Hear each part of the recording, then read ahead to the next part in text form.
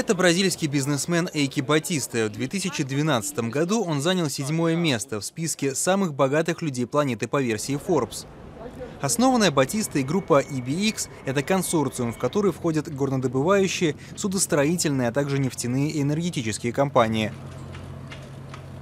Прежде состояние бизнесмена оценивалось в 23 миллиарда евро. На сегодня он потерял три четверти своего капитала. У холдинга большие проблемы. Спрос на бразильское сырье со стороны его основного покупателя, Китая, резко сократился, а курс реала по отношению к мировым валютам снизился. К сожалению, в жизни все циклично. Наступила и наша очередь. Такова реальность. Да, я наполовину немец. Каждый немец должен посетить Бразилию и своими глазами увидеть, какая это прекрасная страна. Ситуация вокруг консорциума Батисты оставляет желать лучшего. Акции отдельных компаний холдинга EBX обвалились до уровня Penny Stocks. Теперь вся корпорация на грани банкротства.